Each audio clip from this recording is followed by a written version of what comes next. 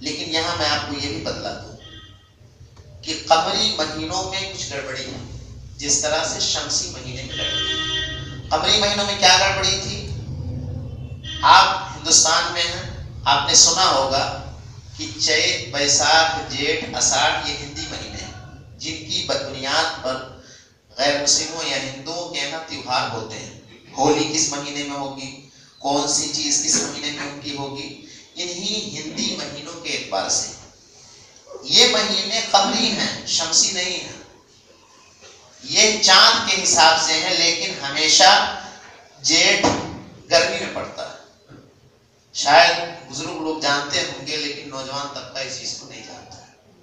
اس کی وجہ یہ ہے کہ ہر سال قمری مہینہ دس دن شمسی مہینے کے مقابل میں گھٹتا ہے۔ جب تین سال ہوتے ہیں تو ایک مہینہ ہو جاتا ہے۔ تین سال میں ایک مہینہ، ایک مہینے کا فرق ہو جاتا ہے۔ چنانچہ بارہ تیا چھتیس۔ چھتیس سال میں ایک چکر، ایک راؤنڈ ہوتا ہے۔ یہ لوگ کرتے کیا ہیں؟ کہ چیت سے شروع کرتے ہیں۔ اب شروع، اگر چھتیس کا راؤنڈ پورا ہو گیا تو چیت تین سال کے بعد چیت کو ڈبل کریں گے۔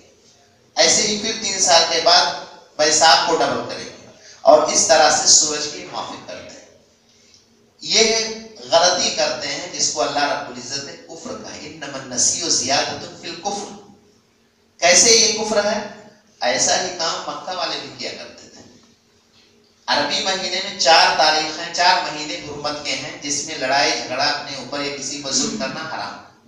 وہ لوگ جنگوں کی خاطر کبھی محرم میں لڑائی کی بات ہوتی تو محرم کو پیچھے کر لیتے یا آگے کر لیتے تاکہ حلال مہینہ آ جاتا اور لڑائی کر لیتے۔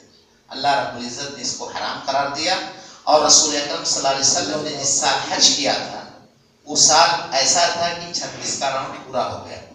اسی موقع پر آپ نے کہا، ان زمانہ قد استدار علی حیث و مخلق السماوات والارض منها اربعۃ حرم اب چھتیس کا راؤنڈ پورا ہو چکا ہے، اب کوئی کمی زیادتی نہیں ہوگی، اب بالکل ویسے ہی رہے گا جیسے کہ اللہ رب العزت نے آسمان و زمین کی تخلیق کے موقع سے یہ چیز متعین کی تھی۔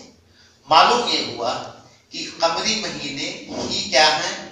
مناسب ہیں، جس کو ہجری مہینہ کہا جاتا ہے اور اسے اسلام نے اختیار کیا ہے۔